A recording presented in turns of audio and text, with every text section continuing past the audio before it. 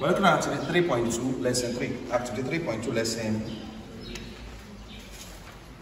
Are we there? Okay, let's go. So we're looking at 3.2, lesson 3. So the first question, I said lim root 1 minus x minus root 1 plus x squared divided by root 1 minus x squared minus root 1 minus x. As x tends to 0 as x tends to 0 class very simple. When solving limit the first thing we need to do is to replace x with limit point 0 anyway we say x we put 0 anyway we say x we put so we're going to have root 1 minus 0 plus root 1 plus 0 square all over root 1 minus 0 square minus root 1 minus 0. Last, is how we solve this.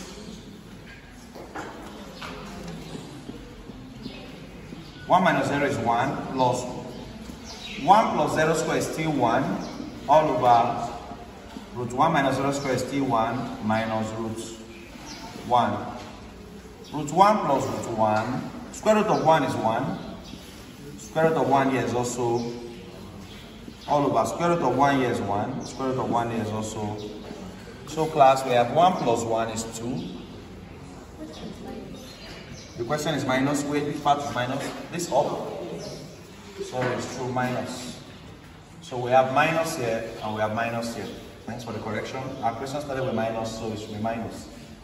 So 1 minus 1 is 0. 1 minus 1 is also what? And this leads us to an indeterminate function. Now, in indeterminate, you know what it means, we have to differentiate. But now, we have to be very careful. We can see that we have a question that contains square roots. To differentiate square roots is more difficult than differentiate just x or x squared. So we have to be very careful and pay attention here. So class, anytime we have 0 over 0, we know what we usually do with differentiate because it means the function is indeterminate, so we have to differentiate. So we differentiate root 1 minus x, differentiate root 1 plus x squared, differentiate root 1 minus x squared, differentiate root 1 minus x. So we have four things to differentiate and they all have square root. Class, follow me please. So let's start with root 1 minus x. Class, root 1 minus x must understand is the same thing as 1 minus x raised to power 1 over 2. Class, the square root of any value is that value raised to power 1 over 2. We also have root 1 plus x squared is also 1 plus x squared raised to power 1 over.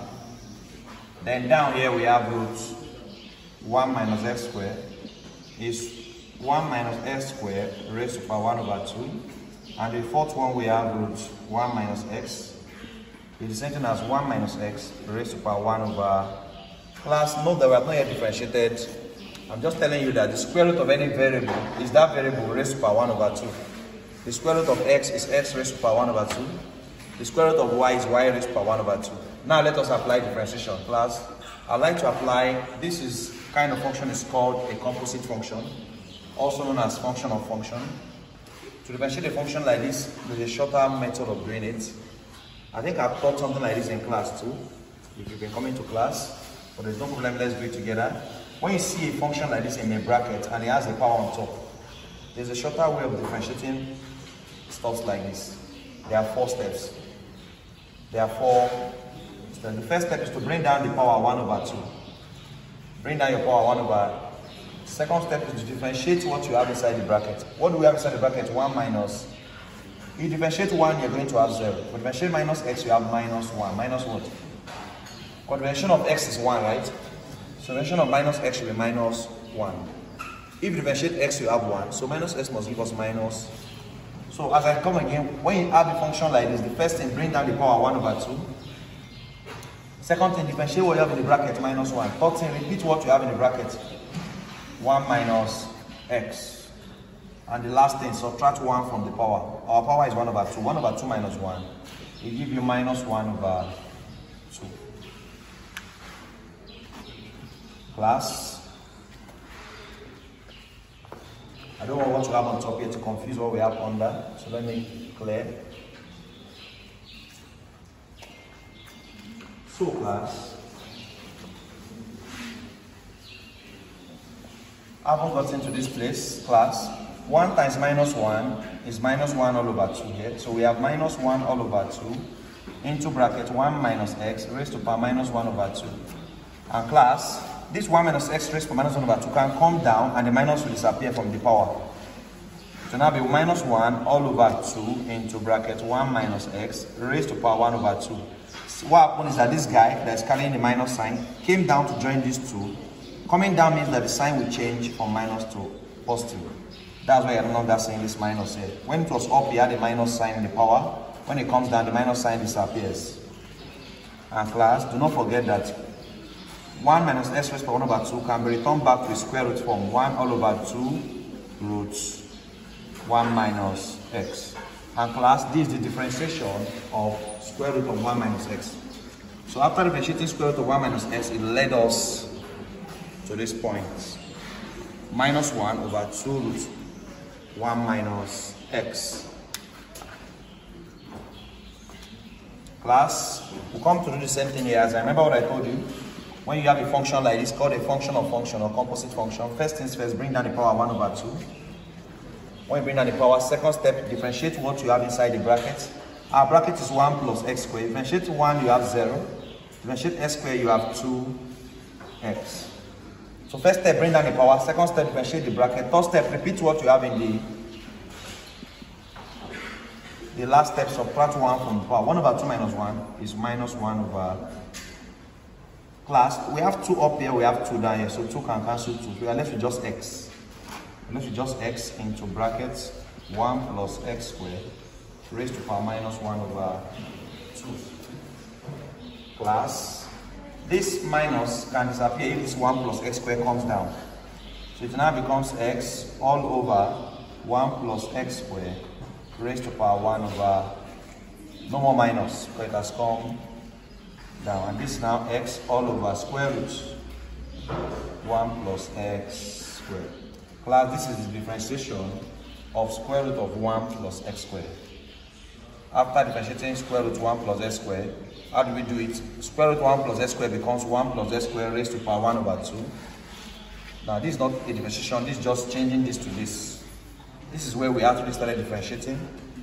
When differentiating, we bring down the power 1 over 2. Step 1, bring down the power 1 over. Step 2, differentiate what you have inside the bracket. Differentiate 1, you have 0, right? It's a constant. Differentiate x squared, you have 2. Step 3, repeat what is in the bracket. Look at the bracket again. And the final step, subtract 1 from the power. So if your power is 1 over 2, 1 over 2 minus 1 becomes minus 1 over. Now you can see that 2 can cancel 2 here, leaving us with only x, right? x times 1 is x. So you have x into bracket 1 plus s squared raised by minus 1 over 2. This 1 plus s squared raised by minus 1 over 2, when it comes down, the minus sign will go from the power. We now have x all over 1 plus s squared raised by 1 over 2. Now 1 plus s squared raised by 1 over 2 is the same thing as square root of 1 plus x squared. Class, we have two more to go. Once we differentiate these two, we have totally differentiated everybody in the function. We then proceed from there. Class, following the same approach, if I'm to be faster here, after differentiating this, I will expect to have bring down 1 over 2.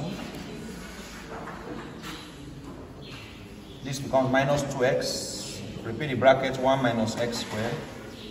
Minus 1 all over 2. 2 can cancel 2 here. And to give us minus x all over square root 1 minus x squared. We do it very well, following the same procedure. Now for this guy, 1 minus x raised by 1 over 2. Our final answer,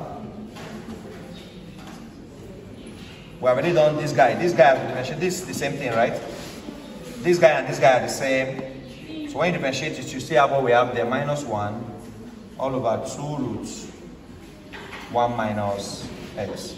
Plus, we have successfully differentiated the four major components of this question. Let us now go and apply. So what we now have is, differentiating 1 minus x, you have this, that is minus 1 all over 2 root 1 minus x, minus, differentiating this, we have the second person, right? Minus x all over square root 1 plus x squared all over, differentiating this guy, we have this, right? All over minus x all over root 1 minus x squared. And differentiating this last guy, we have what we have on top here, which is minus 1 all over 2 root 1 minus. Now don't forget that after differentiating, you will take your limit point and place into the function after different. So anywhere we see x now, we can put what class? 0. Minus 1 over 2 root 1 minus 0. Minus 0 all over root 1 plus 0 squared All over minus 0 over root 1 minus 0 squared minus 1 all over 2 root 1 minus 0.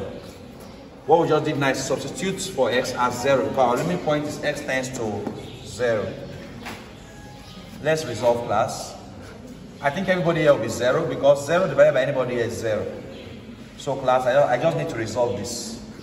This is minus 1 all over 2 root 1 because 1 minus 0 is 1. 2 root and 2 root 1 class is square root of 1 is 1 and 2 times 1 is 2. So I have minus 1 all over 2 is what I have on top here. All over, minus 0 all over everybody is 0. So I have to focus on who is here. This minus 1 all over 2 as well. Because 1 minus 0 is 1, square root of 1 is 1. So I have minus 1 over 2 divided by minus 1 over 2. This means, follow me, minus 1 over 2 divided by another minus 1 over minus 1 over 2 multiplied by 2 over minus 1. Minus cancels minus. 1 cancels 1, 2 here 1, 2 here 1. So my final answer to this limit is 1. The final answer to this limit is 1. Now come with me. Kindly stop that, stop that part.